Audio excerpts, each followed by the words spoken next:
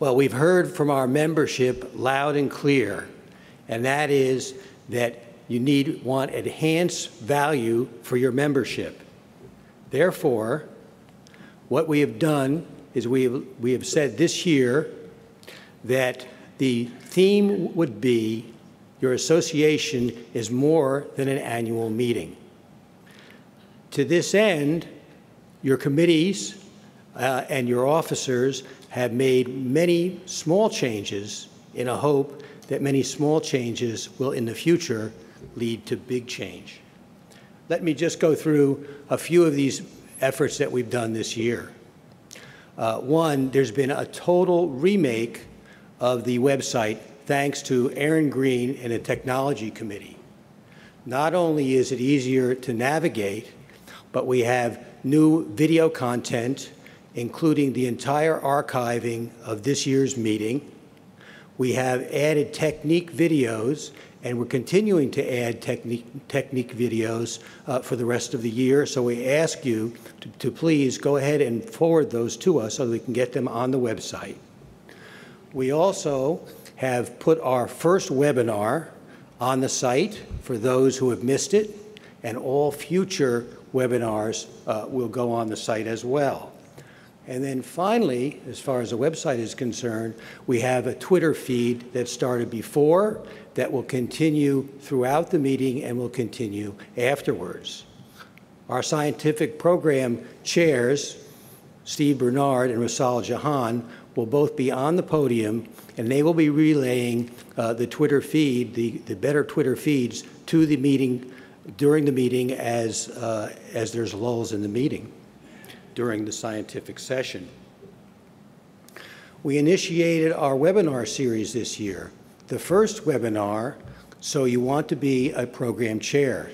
That was moderated by Greg Evans with panelists Linda Phillips, Scott Levin, David Song. Our next webinar will be hosted by new President Mary McGrath, and this will be an extension of our social media panel, which will be on uh, Monday. This will only scratch the surface, I'm sure, on this very important topic. We'll be able to extend this uh, as we go on through the year. And then finally, we've had some other very, very interesting suggestions, uh, one being plastic surgeon as an entrepreneur. How can we integrate with the manufacturers and uh, um, we will uh, look at doing this as well. Our innovations program is ongoing thanks to Greg Evans, Juliana Hansen, and the Issues Committee. So any member of the association can now visit some of the uh, sites uh, of innovation, uh, units of innovation, and bring home new programs uh, to their home city. We've worked very hard in involving new members. New members are clearly the lifeblood of the association. Every new member was assigned to a committee this year. Uh, in fact, one of our new members was a committee chair. You can see the list here almost half of the new members participated and presented at Super Tuesday, and that was our ASPS AAPS symposium headed by Arun Gosain.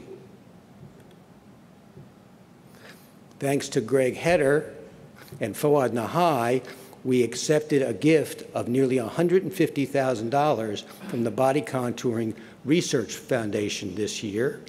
And this, this gift will serve to present an award on a biannual basis to a young investigator uh, presenting the best paper on body contouring in the two years. T. Sheng Chang was the George Washington of Chinese plastic surgery, and unfortunately he passed away last year. The Ninth People's Hospital has set up the T. Sheng Chang Foundation and they have asked to collaborate with us on this project. And what they would like to do is do similar to what we do with EURAPS, and that is they would like to send their best paper from their annual meeting to our AAPS meeting, and they would like us to present our best paper at their annual meeting.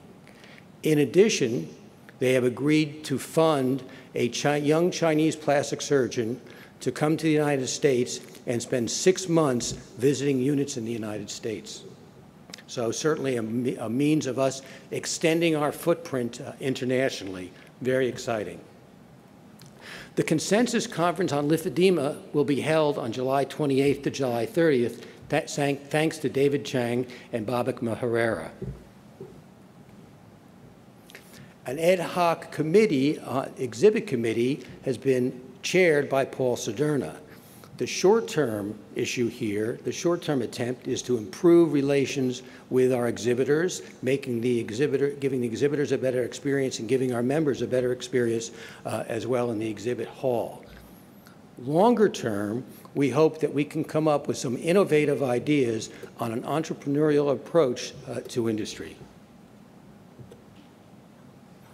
Our recent survey actually had some very, very good news.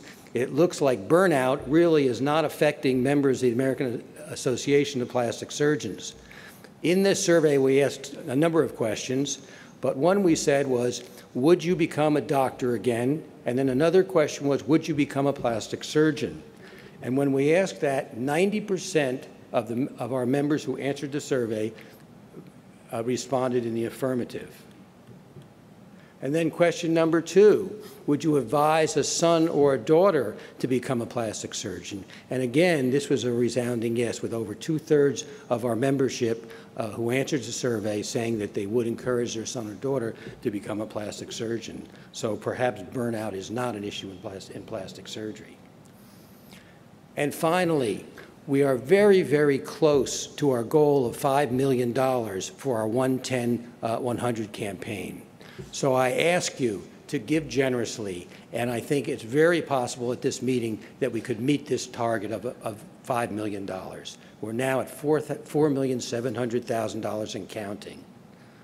If you prefer not to give to the 110-100, we also have other opportunities for you. The Constable Fund is a, also a wonderful opportunity for you. And then finally, the Body Contouring Research Fund.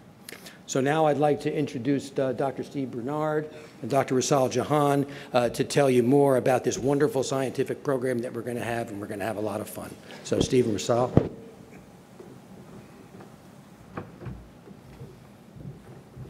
All right, I, um, can I get the next slide, please? I want to thank uh, our committee. Our committee is made up of 44 members, and uh, an awful lot of the work, at least by the committee, was done last fall. And what we did was, next slide. There we go.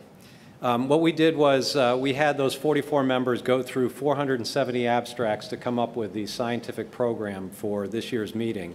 It ended up being a total of 40 papers that are going to be a long format, which is eight minutes of presentation, and then um, uh, discussion afterwards. There were uh, a total of 23 that are going to be in the innovation section, formerly called libations, and then uh, finally there are another 40 posters that will be judged uh, for uh, prizes and awards and stuff. We have about 500 people attending the meeting, and about half of those showed up for the symposium, so we have an excellent turnout. And um, one of the things we're doing, I just want to give you a short explanation about Twitter. We are actually going to try and get the audience to participate significantly through Twitter, which means that everybody has to set up an account. So that will be a little bit of work. We're going to go through the details of that tomorrow morning. But you set up an account, and then if you want your, your question to show up in our feed, you'll have to put the at sign with AAPS 1921, and then we're going to go uh, use the questions from there. Um, Rasal is going to go into a little bit more detail about how we're going to run the scientific part of the meeting. Good afternoon. Uh, as Dr. Bernard has mentioned, that we are going to have a very uh, great scientific meetings. Uh, tonight, we're going to start with poster presentations. So we would like to encourage you to actually come and uh, participate in looking at uh, the hard works of uh, all our members or our residents who are presenting the papers and, and the posters.